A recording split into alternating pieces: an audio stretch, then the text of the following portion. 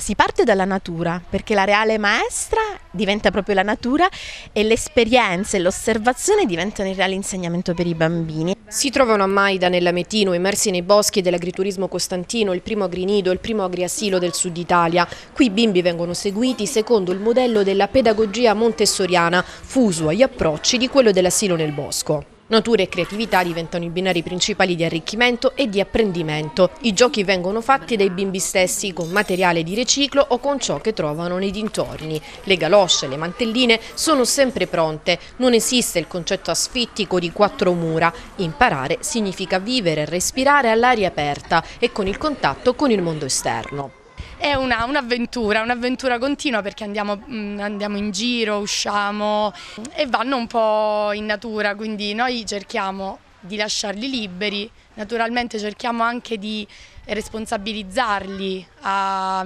eh, prendersi cura di se stessi e dei compagni. L'alimentazione è più che a chilometri zero, ogni giorno è il cuoco a dare la lista ai bimbi di ciò che va raccolto. Vanno nell'orto o dagli animali, danno da mangiare, raccolgono il, nel cesso tutto il materiale richiesto dal cuoco e lo lasciano in cucina e poi attendono con molto appetito che quelle cose vengano cucinate. Ma sono anche loro a seminare e coltivare il loro personale orticello, un modo completamente nuovo e ribaltato di concepire e asilo e che risponde ad un unico obiettivo. Offrire alle future generazioni una maggiore qualità, soprattutto pedagogica.